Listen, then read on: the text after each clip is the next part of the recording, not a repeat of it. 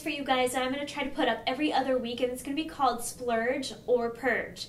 Now, the idea of this is I'm going to talk about either the most expensive makeup products like foundations or highlighters, the most hyped products, or I'm going to do a comparison of something high end versus something more exp- or inexpensive so that way you guys can decide is it worth splurging and spending your hard earned money on, or is it worth purging and getting something that's not quite as expensive? So, today is all about sunglasses. You guys know, I see you see this in my Instagram all the time. I wear these sunglasses. They are my Chanel aviators. They look like this.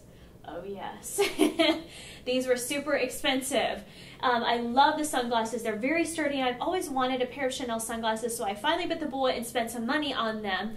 But I went to Target last week, or as I like to say, Target Fashions, my favorite store ever. And you know what I found? Lookalikes for Chanel sunglasses. Oh yes, they look exactly the same. so can you guys tell it has the same shape? Oh looky there, I have my two ring lights. I look like a fly right now You can see them right in there. That's kind of spooky. so anyways, let me show you guys what they look like. So here are the sides of them. These are the Target. These are Chanel. They both have the brown leather casing on the side, so very similar. They both have the gold frame. Do you guys even see how they have the same shape? The only thing that's different to me is the Target ones are a little bit lighter in color on the lens. The Chanel ones are a little bit darker, but let me show you guys again. These are Target and these one are Chanel. They're hard to tell.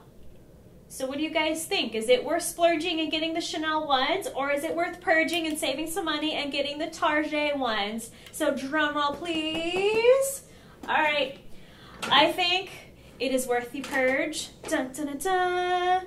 And we are not going to spend money on the Chanel ones because the Target ones are just as good, in my opinion, and worth saving some money. The Target ones are only $16.99. You can get them at any Target store. The Chanel ones, I believe, are around $400. But wait, I'm not going to actually throw these away because I spent good money on these, so I'm still to wear them. But if I had to redo it over, I would actually save the money and get the Target ones and use that money to get either towards a really nice purse or some shoes or something like that. So for this splurge or purge, it is going to be purge it, and you're to save some money and go to Target and get you some really cool aviators. So I will see you guys in a couple weeks for another splurge or purge. So I'll talk to you guys later. Bye.